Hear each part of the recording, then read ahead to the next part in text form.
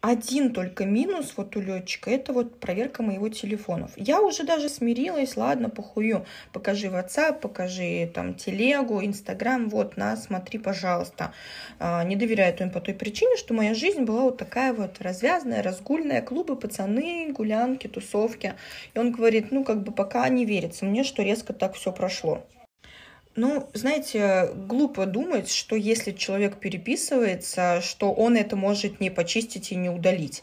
Тем более я объясняю, что я не конченая мразь, чтобы, знаете, делать э, выбор в сторону одного человека, жить с ним, э, на его деньги жить, да, и при этом еще, блядь, подло вот так с кем-то, с мужиками общаться. Я, конечно, веселая девчонка, но такие, знаете, чувства достоинства собственного уважения к партнеру, они имеются.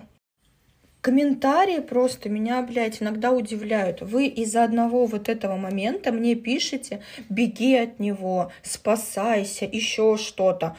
Просто из-за того, что он просит Свет, покажи телефон, с моих же рук вот так, на, посмотри, пролистнула. Все.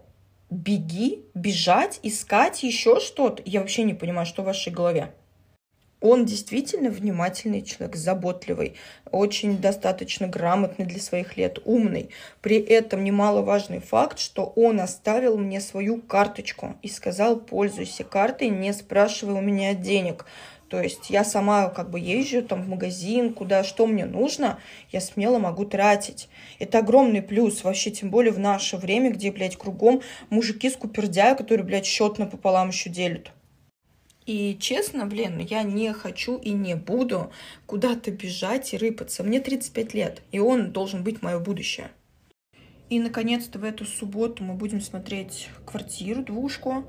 Дай бог, она понравится ему, потому что первая ему не понравилась.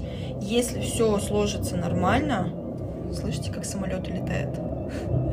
вот, то э, скоро, как бы в течение месяца мы туда переедем. При этом он сразу сказал, что я буду прописана в этой квартире. Да, я понимаю, что она как бы государственная, но почему нет?